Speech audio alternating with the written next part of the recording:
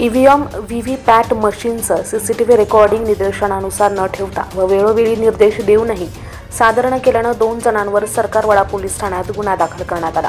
त्याबाबत पोलिसांनी दिलेल्या माहितीनुसार अंबड औद्योगिक वसाहतीतील केंद्रीय वखार महामंडळ गोदाम या ठिकाणी EVM V V PAT machine ठेवण्यात आले होते. सत्तावीस फेब्रुवारी दोन हजार एकोणावीस ते अकरा मार्च दोन हजार बावीस दरम्यानच्या काळातील सीसीटीव्हीचे रेकॉर्डिंग निर्देशनानुसार न ठेवता व त्या संदर्भात वेळोवेळी निर्देश करूनही ते सादर न केल्यामुळे व भारत सरकारच्या निवडणुकीसंदर्भात महत्त्वाचे साहित्य सांभाळण्यास निष्काळजीपणा करून शासनास सादर न करता शासनाची फसवणूक केल्याप्रकरणी अजय दिवाकर आहिरे निवडणूक नायब तहसीलदार जिल्हाधिकारी कार्यालय नाशिक यांनी दिलेल्या फिर्यादीनुसार मीना सारंगधर व अक्षय सारंगधर यांच्यावर सरकारवाडा पोलीस ठाण्यात गुन्हा दाखल करण्यात आला आहे. त्याबाबत सरकारवाडा पोलीस ठाण्याचे वरिष्ठ पोलीस निरीक्षक साजन सोनवणे यांनी अधिक माहिती दिली. यामध्ये राजेश दिवाकर आहेरे निवडणूक नायब तहसीलदार आहेत जिल्हा निवडणूक कार्यालयातील यांनी आपल्याकडे तक्रार दिलेली आहे की अलायन्स एंटरप्राईज आहे. ह्या अलायन्स एंटरप्राईजला जे ई व्ही एम मशीन्स जे केंद्रीय वखार महामंडळाच्या गोडाऊनमध्ये असतात.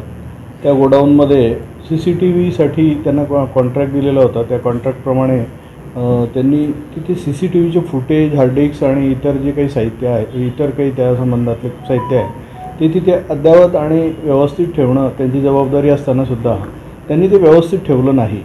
म्हणून त्यांनी काल आपल्याकडे तक्रार दिलेली आहे. त्याप्रमाणे पोलीस स्टेशनला सी आर नंबर एकसष्ट अब्लिक दोन हजार बावीस under section I P C under section चारशे आठ चारशे वीस चौतीस प्रमाणे गुन्हा दाखल झालेला आहे. त्याबाबत आता तपासामध्ये माहिती मिळेल.